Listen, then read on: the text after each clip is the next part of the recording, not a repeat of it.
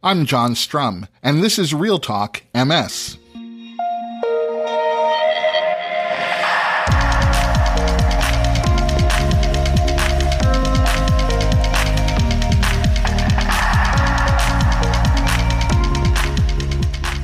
It's September 3rd, and we have a lot to talk about.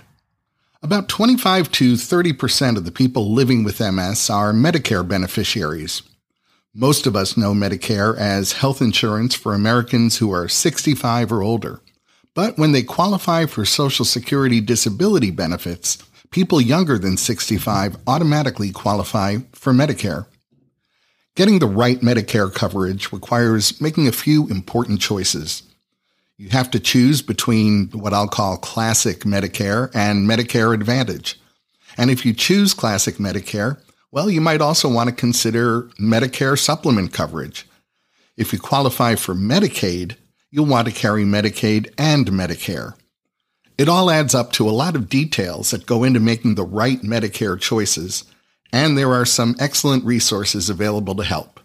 Today, licensed Medicare advisor Laquel Thomas joins me to explain how you can make the best choices when it comes to your Medicare coverage. And that's useful information if you already have Medicare or if you'll be signing up for Medicare in the future. But before we get to my conversation with Laquel, there are a few other things that you should know about. Pharmaceutical company Sanofi announced some good news with the results of a phase 3 clinical trial for tolebrutinib, an experimental oral BTK inhibitor. The results showed that compared to placebo, tolebrutinib met the primary endpoint of the trial, delaying the onset of confirmed disability progression in people with non relapsing secondary progressive MS. So let's break down what all of that means. BTK inhibitors have been shown to be an effective treatment for some forms of cancer, and they represent a new category of MS disease modifying therapy and it's a category with some interesting characteristics. Now, the BTK stands for Bruton's tyrosine kinase, which is a protein that plays an important role in the development of B cells.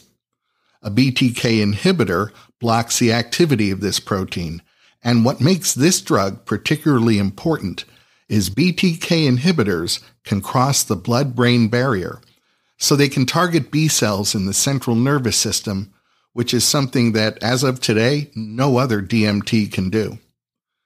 Now that we better understand what tolebrutinib is, let's talk about these results of the phase 3 clinical trial.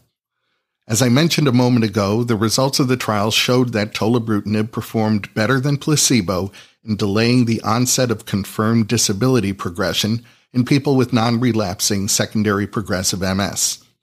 If you're a little fuzzy about non relapsing secondary progressive MS, it's a subtype of MS in which symptoms steadily worsen over time without relapses. So, having a medication that slows that disability progression is a potential game changer. Sanofi also announced that in separate phase 3 clinical trials, tolebrutinib was not shown to be superior to Aubagio in reducing the annualized relapse rate among people with relapsing remitting MS. So the announcement about tolebrutinib is decidedly mixed, but given that it's the first and only therapy that's been shown to slow the onset of confirmed disability progression in people with non relapsing secondary progressive MS, I think the good news wins the day. More details on the outcome of the tolebrutinib phase 3 clinical trial are going to be shared in a couple of weeks at ECTRIMS, the largest MS research conference in the world. I'll be there and you'll be hearing directly from the experts involved in these clinical trials. It isn't every day that we get to talk about a movie about someone who's living with MS, but today we can.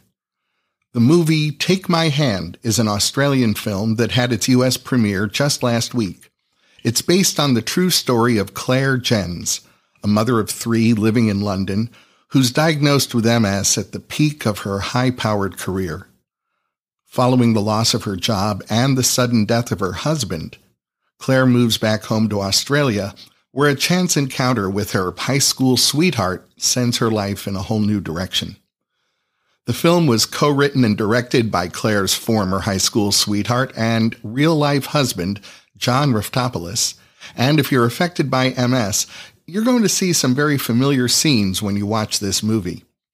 I had a chance to talk with Claire, John, and Radha Mitchell, the actress who plays Claire in the film. In a moment, you'll hear our conversation.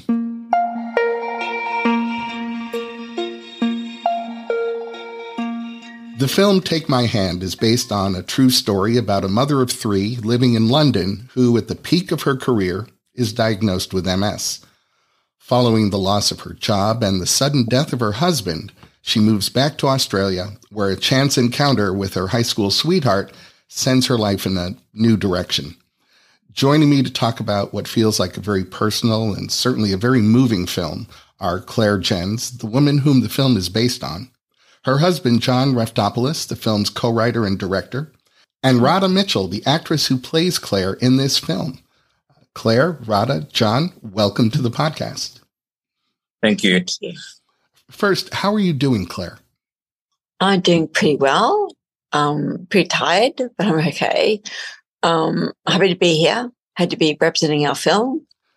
Well, I appreciate you being part of today's conversation as well. Uh, John, let me ask you, what motivated you to want to tell this story? Um, how much I've been in love with Claire for so long was one of the reasons, but um, look, mainly just to make some noise for MS. Um, we um, started out um, sort of six years ago on this journey, and I mean, Claire and I just reconnected, and um, and there was so much that had happened in the 20 years that had passed in, in both our lives and and and mainly um, re-meeting claire again and seeing her symptoms and um, the struggles she was having and i thought you know maybe we can do something about this. So we, we took it that step further. Claire as we see in the film getting that ms diagnosis and starting to process what it might mean in terms of your future and your well-being is never easy. Losing a high profile mm-hmm. job with significant responsibility is never easy. And and seeing your ms progress is certainly not easy. What was the experience like for you to see some of these highly personal and highly emotional moments of your life portrayed by actors on a big screen it was a very confronting experience very um, moving but also very emotional. I cried a lot. Um, and actually, each scene was so real and so it was quite hard to be around, but I did it, and it was um, it was quite um, moving and emotional and very cathartic. Radha, was it challenging for you to portray a character who not only had physical and cognitive challenges, but who experienced these disabilities progress as the story progressed? Yeah, I mean, it wasn't benchmarked in the script exactly when things were changing. So that was sort of a bit intuitive, like how are we going to do it? And obviously, you know, John had had a point of view there. Um, but I, I think really what I was really drawn to was the story, the sort of romance of the story, the sort of the healing, this sort of soul healing part of the story. I really feel like, as much as uh, the character, well, Claire, was going through what she was going through physically on an emotional and spiritual level, she was healing. And so I was really drawn to that part of the story. How did you prepare for the role? I really just spent time with Claire. Um, and I did some sort of kind of interesting stuff in LA where I work with a dream coach. So I did some stuff on a sort of that kind of level, dream level. Um, and then Claire and I spent time, we met on Zoom before I came out. John, this is a deeply personal story. What was the most challenging part of the screenplay for you to write? Good question. Um, so I think you know you you write a script and you don't really know how it's going to sound until the words come out of the actor's mouth. So we had a um, a bit of a, a test run um, around four or five months earlier with some other actors, and it was good for me to to see the words come out and, and how it look. And we did did some scenes with horses, and I sort of threw myself in the deep end there at how it'll look. And but I had a strong idea of what I wanted from how the story to come out. Um, and Radha, Radha came on board, and um, you know, she not only met Claire, we spent a couple of days at our house going through um, what Claire's job was and, and where um, the power that, that she had in that position in her life at that time. Radha had to bring that into those scenes. So, you know, we spent some days going through what Claire actually did for a job. Um, that helped a lot. Um, mm-hmm. And then, but, but, some of the challenges were, look, just uh, directing a first film, first feature for me. Um, obviously, uh, we had such a great crew and Bronte and everyone did a great job. But you know, I just just took it a day at a time. It sounds very simple, but I just worry about the next setup, the next um, the next day of dialogue, the next three or four pages or whatever it might be, um, and just so not not to get overwhelmed. Um, and I and I made it through. So that sort of thirty nine days like a blur, um, but it all mm. happened very quickly. Um, everything else has um, taken a lot of time, but we've made it to here, so we're pretty proud to get to this point. That's for sure. Well, as you were directing the film, I'm sure you were focused on the actors and the scene you were shooting and the next scene that had to be set up and a million other details that a director is probably thinking about. But you were also watching scenes from your own life or scenes from Claire's life in the years you two were mm. apart. Mm. How was that experience? Mm. How was that experience for you? Uh, yeah, well, it was, you know, Claire was right behind me on the set. So um, I talked to her before the scenes, and every every time I said cut, I'd turn around and look at Claire. Um, most of the time, that seemed to go okay. Um, yeah, it was. It was again just just concentrating on on the next moment, um, not to think too far ahead. I mean, I, actually, I was thinking ahead, but um, you know, just just what what we did wrong, what we did right. Um, yeah, it was a bit. As I said, to have so many great people around me, it, it made things a lot, lot easier. And um, having a, a, great script supervisor and and you know, Wade, the, the DP was is just a fabulous guy. We work well together, and I was just lucky to have everybody around me, and to have Radha Mitchell in front of me, it's even better. well, I think in addition to capturing Claire's story, one of the things that really comes across visually throughout the film is Claire's mm. love of horses. Visually, mm. it, it's it's beautiful to see. Um, I'm, I'm, glad you spent some mm. time letting the audience in on that love of horses. I think it was uh, just uh, wonderfully done. Thank you. That, yeah. That was nice one of the joys. I was great playing that role because I wasn't so familiar with horse riding. Uh, but we got to train um, on the weekends. And so when we finally got to shoot that scene, that I think that was one of one of my favorites. It comes across that was fun. It comes across that way.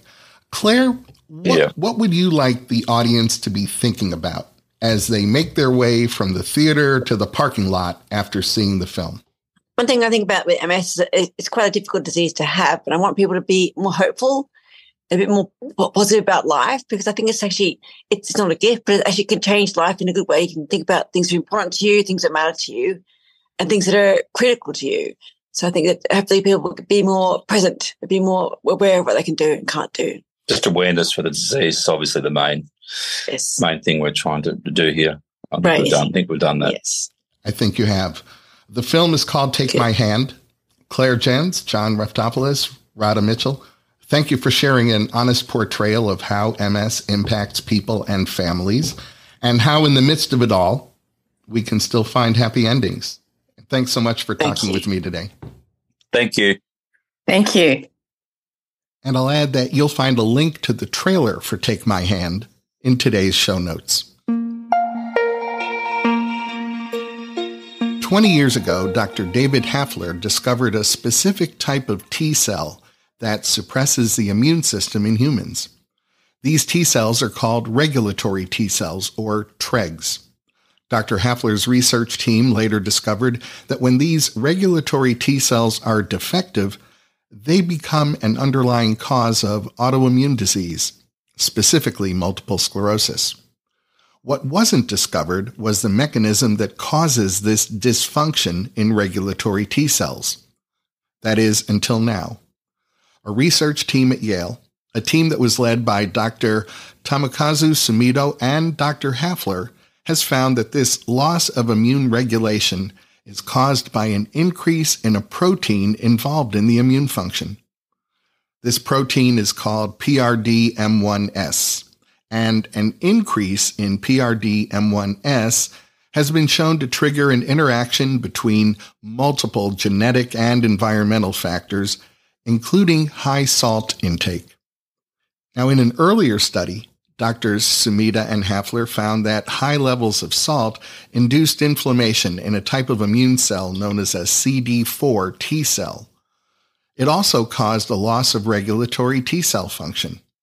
The researchers discovered that this activity was mediated by a salt sensitive enzyme known as SGK1, an enzyme that's critical for cell signaling. Now, in this study, the research team compared gene expression in people with MS and people who didn't have MS. And the researchers found that the people with MS showed an increased expression of that PRDM1S protein. They were surprised to also learn that this increase in that protein served to increase the expression of that salt sensitive enzyme, SGK1 and that increase in SGK1 led to a disruption of regulatory T cells. They also discovered this overexpression of SGK1 in other autoimmune diseases, suggesting that it may be a common feature of regulatory T cell dysfunction. Based on their discoveries, the research team is collaborating with other researchers to develop drugs that can target and decrease expression of this PRDM1S protein in regulatory T cells. Now, if they're successful in their efforts, these new drugs could stop the autoimmune response before it starts, and that would have a major impact in stopping MS. There's much more work to be done here, and we'll be sure to keep you informed about this promising effort as new information becomes available. Meanwhile, if you'd like to review the details of this research, You'll find a link in today's show notes. Many experts define MS as a disease that's purely driven by immune system dysfunction. But newly published results of a stem cell study demonstrate that MS may also be fueled by processes originating within the brain itself. In this study, researchers took blood or skin cells from six people with relapsing remitting MS, five people with primary progressive MS, six people with secondary progressive MS, and five healthy people. These cells were reprogrammed back into a stem cell like state, from which the investigators derived what are referred to as induced pluripotent stem cells, stem cells that can mature into almost any type of human cell. These induced pluripotent stem cells were developed into cultures of glial cells. Glial cells mostly support the function of nerve cells, and keep in mind these cell cultures were grown in the lab, not inside the body, which means a research team could observe the behavior of these cells when they weren't being influenced by the presence of immune cells or inflammatory signals the researchers found that the glial cells that were derived from people with primary progressive MS generated fewer oligodendrocytes, and oligodendrocytes are the cells that produce myelin. The results of this study showed that these glial cells themselves could play an important role in MS disease progression and development, creating a new understanding of MS progression while identifying a new therapeutic target. If you'd like to review the details of this study, I'll warn you that it may be a heavy lift, but you'll find that link in today's show notes. It's not unusual for researchers and clinicians to measure health related quality of life among people with MS who are living with some level of physical disability. But what about those people with MS who are experiencing very mild disability? While many people with MS don't experience significant functional limitations early in the disease course, their quality of life may still be affected by the psychological weight of being diagnosed with a chronic condition for which there is no cure. A research team in Italy explored this question by designing a study that would assess clinical and psychological aspects of MS that impact people who are living with MS who are also fully ambulatory. And after measuring overall health, physical disability, and cognitive disability among people with MS, they compared those measures to measures with the general population of Italy. And the researchers found that people with mild MS did not perceive their physical quality of life very differently from the general population. However, they viewed their mental quality of life as significantly worse. In fully ambulatory people with MS, mood, psychosomatic symptoms, fatigue, and age each influence their physical quality of life. Lower mental quality of life was associated with psychosomatic symptoms, older age, fatigue, and anxiety. This association with anxiety was especially pronounced in the years directly following diagnosis. This study serves as an example of what may be considered one of the shortcomings in the EDSS. That's the Expanded Disability Status Scale that's used to characterize the level of disability in multiple sclerosis. The EDSS is largely weighted toward physical symptoms. For example, how fast you can complete a 25 foot walk. And by failing to adequately take into consideration real but invisible symptoms like cognitive dysfunction, fatigue, and anxiety, an EDSS score can fall short of representing a patient's actual health status and well being. If you'd like to review the details of this study, you'll find a link in today's show notes. With 25 to 30% of the people with MS relying on Medicare for their health insurance, making the right choices in selecting your Medicare coverage goes a long way to ensuring your quality of life and your overall well-being. In a moment, my guest, Laquel Thomas, walks us through some of the things to keep in mind when it comes to your Medicare coverage. With somewhere between a quarter and a third of all the people with MS relying on Medicare for their health insurance, it's important to understand the ins, outs, and details of this national health insurance program that provides coverage for people over the age of 65, as well as many people under the age of 65 who are living with disabilities. Laquel Thomas is joining me to help answer the kinds of questions that you might have if you're contemplating Medicare coverage in the future or if you have Medicare coverage today. Laquel is a licensed insurance consultant who, through the National MS Society's Medicare Advisor Service, helps people affected by MS make informed decisions about their health insurance coverage. Welcome to the podcast, Laquel. Hi, Jon. Thanks for having me. Medicare has several different parts and it comes in a couple of different flavors. So I'm hoping you'll start us off by explaining what Medicare Part A, B, and D are, and we're going to circle back to Part C in just a minute. Okay, thanks. Um, great question. Um, Medicare Part A is considered to be hospital insurance. It covers inpatient hospital stays. Part B is the medical insurance. It covers any outpatient um, labs, um, out, MRIs, any type of outpatient services, physician services that you may have.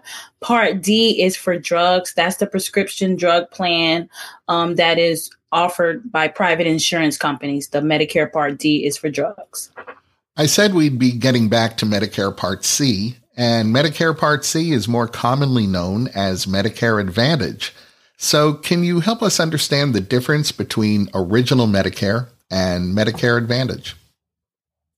Yes, original Medicare again consists of only the two parts Medicare Part A for hospital, Medicare Part B, which is the medical insurance.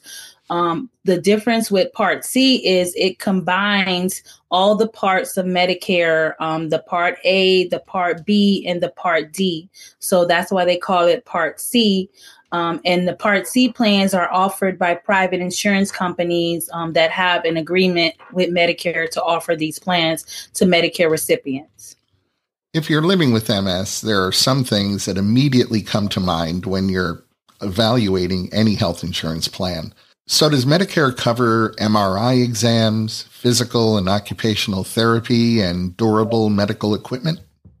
Yes. Um, Medicare covers all the services that you may need. Again, as long as they meet the med- the medical coverage guidelines and um, the doctor submits all the documentation that's required. Medicare covers, you know, physical therapy, occupational therapy, speech therapy. They cover physicians, specialty visits, MRIs. So they cover all the same benefits that you've had, you know, throughout whatever plans you had previously. It's just hand, it's just different, a different type of coverage. But yes, they do cover the same um, benefits that you you've always um, had. What about coverage for MS disease modifying therapies? Yes, they do cover the MS disease modifying therapies. Again, as long as they meet the medical coverage guidelines and a doctor submits the um, medical criteria that's needed to support it, then yes, they will cover that. An MS care team is made up of several different healthcare providers. For instance, a care team might include a primary care physician, a neurologist and a physical therapist, or maybe an occupational therapist, if someone is hoping to continue seeing the same doctors that they had before Medicare, should they be thinking about original Medicare or Medicare Advantage, or does that even matter? It, it does matter because certain doctors, it depends on their doctors. Not all doctors accept Medicare. Not all doctors accept Medicare Advantage. So, what I would do is, in my case, when I have a client, I do an assessment. I go through all of their doctors, all of their medications, and I try to compare to see if their doctors, which plans the doctor accepts, and if the doctor does accept original Medicare. But they can keep in mind that they would be able to see most of their same doctors um, for the most part you know, Medicare, like almost any other insurance coverage, includes some out of pocket costs as well. And if someone is hoping to limit their out of pocket expense for their disease modifying therapy, will choosing original Medicare or Medicare Advantage make a difference? Yes. Um, original Medicare doesn't really have an out of pocket cap. So if you um, decide to stay with original Medicare, whatever you're paying, you're not really getting credit towards your out of pocket expenses. And um, with the Medicare Advantage plan, you do there is a cap on what your out of pocket expenses would be. So there is a maximum out of pocket limit that they do have for the plan year. So for the most part, if you reach that limit anytime during the year, if you have a Medicare Advantage, you're covered at 100%. You generally don't have any other out of pocket costs.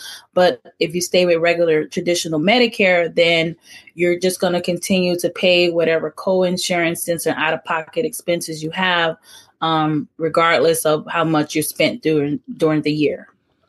Some people with MS may have other health related conditions. I'm wondering whether original Medicare or Medicare Advantage covers things like dental, vision, or hearing benefits. Original Medicare doesn't cover those benefits um, only if it's related to a medical condition.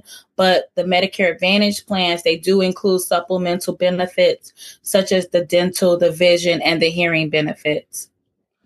Can you tell us what Medigap insurance coverage is and whether people living with MS can qualify for Medigap coverage? Medigap, which is also known as Medicare Supplement, those are plans that again are sold by private insurance companies. They supplement what regular Medicare covers. Um, generally, um, there's several different um, Medicare Medigap policies. Um, depending on which plan you choose, um, determines what your coverage or what your out of pocket expenses might be. There is an additional monthly premium that you have to pay with the Medigap policy, depending on your age. That can be expensive. Um, if you're someone on, you know, that has MS and that you were found disabled and you're not 65 yet, the premiums can be quite expensive. But they do have options. Again, um, if you're someone that was just newly eligible for Medicare and you want to get a Medigap policy, there's a six month guaranteed issue where you can, you know, be accepted regardless of your medical condition. Um, if you happen to enroll after that time frame, there are certain criteria that has to be met um, for you to be accepted.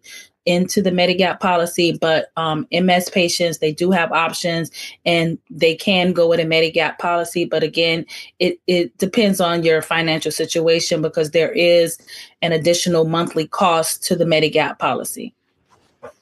How does it work if someone with MS is covered by their spouse's job related health insurance and they become eligible for Medicare? It can kind of affect their job based insurance. Um, it depends on the group size of the employer. So, what I recommend, I tell my clients to talk to the benefit administrator, see what the options would be now that they're eligible for Medicare, if it's in their best interest to stay on the job based plan or to go at Medicare, um, enroll in Medicare. But if they happen to choose to opt out of Medicare Part B, they will, you know, there's a myth that you may be penalized. You won't be penalized depending on if you have other coverage during that time frame. Once you're you know eligible for medicare or if you happen to lose your job-based coverage you can always re-enroll back in medicare but you're not necessarily having to go with medicare if you're if you have coverage under a job-based plan.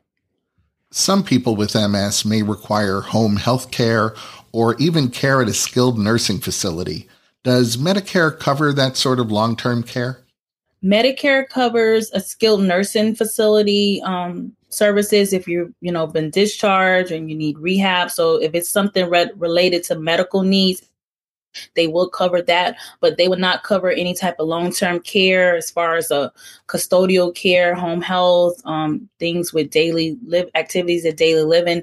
Traditional Medicare does not cover those um, services. There are some Medicare Advantage plans that include limited um, benefits as far as you know needing some type of home health aid but it is very limited um, what i recommend if you know to explore long-term care plans because those are the plans that gives you more coverage for custodial care home health care um, adult daycare assisted living facilities. But again the cost is is kind of expensive depending on your circumstances. Can someone have both medicare and medicaid Yes, um, you can have both. Um, if you have both Medicare and Medicaid, you're considered to be dual eligible. There, there are special plans available for recipients that have both Medicare and Medicaid. Um, it helps you, um, helps individuals that have very low income get assistance as far as with the medical costs and also provides extra help for their prescription drugs. I think our conversation makes the point that there are a lot of details to consider when it comes to making an informed decision about Medicare coverage. How can someone get help in making the best decision for themselves? They can visit the National MS Society, um, the resource page, um, find a navigator. Um, they can also visit Medicare.gov, they also can um, connect with a trusted Medicare advisor, someone as myself that's licensed, that understand the different plans and the different options, and you know try to do their own due diligence as far as research to make sure they have the best plan to suit their needs. Well, Laquel Thomas, I want to thank you for all you do to ensure that the best choices get made when it comes to Medicare coverage for someone living with MS. And thanks so much for talking with me today. Thank you for having me today, Jon. I really appreciate it. Have a great day. That's going to wrap up this episode of Real Talk MS. Real Talk MS is powered by the National MS Society. And you can share this episode of the podcast by letting your friends or family members know that all they have to do is point their web browser at realtalkms.com slash 366. You'll find that link in today's show notes so you can easily copy and paste it right into an email or a text. And if you have a minute, I hope you'll pay a visit to the Apple App Store or the Google Play Store and download the free Real Talk MS app for your iOS or Android smartphone or tablet. It's the best way for us to stay connected. The app will automatically download the latest episode of Real Talk MS. You'll be able to access any of our past episodes. You'll be able to save your favorite episodes and it's a great way for me to share bonus content with you. The app is free, so I hope you'll download it today. I'm Jon Strum. Thanks for listening. Stay safe and make healthy choices.